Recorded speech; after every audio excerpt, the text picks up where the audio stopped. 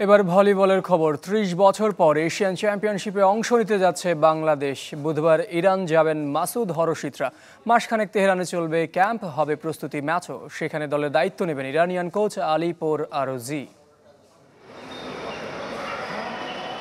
প্রস্তুতির জন্য ইরান যাওয়া নতুন নয় বাংলাদেশ ভলিবল দলের, তবে এবারের অপেক্ষা ভিন্ন, কারণ আসরটা এশিয়ান চ্যাম্পিয়নশিপ।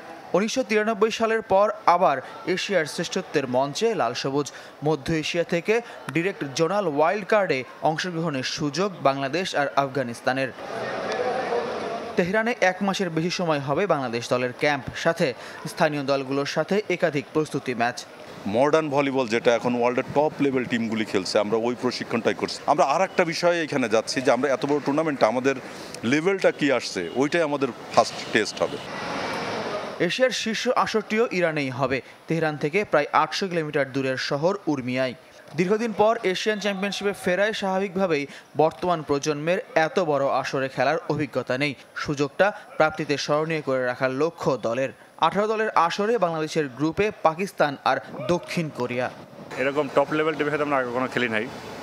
তো আসলে টুর্নামেন্ট আমাদের কাছে একটা স্বপ্নই বলতে গেলে আমরা যদি ভালো করতে পারি, বাংলাদেশ ভলিবল এগোবে অনেক।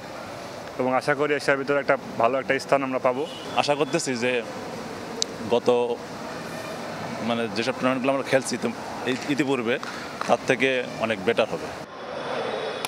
দেশে প্রায় দুই মাস ধরে প্রস্তুতি নিয়েছেন মাসুদ হরশিতরা মাসখানেক ছিলেন ইরানিয়ান কোচ আলিপুর আরজি। ঈদুল আজহার আগে তিনি দেশে ফিরে গেছেন বাংলাদেশ দল ইরান পৌঁছালে আবার তিনি সঙ্গী হবেন। উনিশ আগস্ট শুরু হবে এশিয়ার শ্রেষ্ঠত্বের লড়াই। Faizul Islam channel twenty Dhaka